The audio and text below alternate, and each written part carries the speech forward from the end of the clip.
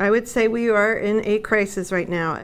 There's a big demand for manufacturing workers right here in the tri-state, and companies are looking for high schoolers to fill those spots. The Now's Paolo Suro tells us how schools are getting students interested in this overlooked career. A 4.0 GPA, uh, great attendance, There we go. And a love for manufacturing landed Colerain High School junior Sam Greenlee here.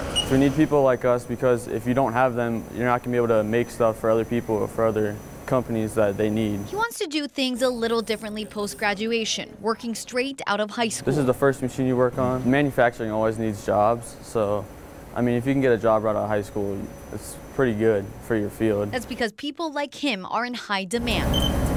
I would say we are in a crisis right now as it relates to the skills gap for manufacturing. Debbie Combs with United Way of Greater Cincinnati's major workforce initiative, Partners for a Competitive Workforce, says manufacturing is the second largest private sector employer in the tri state. But with that comes a problem. We have what we call the silver tsunami. And so right now, um, over a third of the workforce is getting ready to retire. Nationwide, nearly 3.5 million workers will be needed, and 2 million of those will go unfilled because of the skills gap.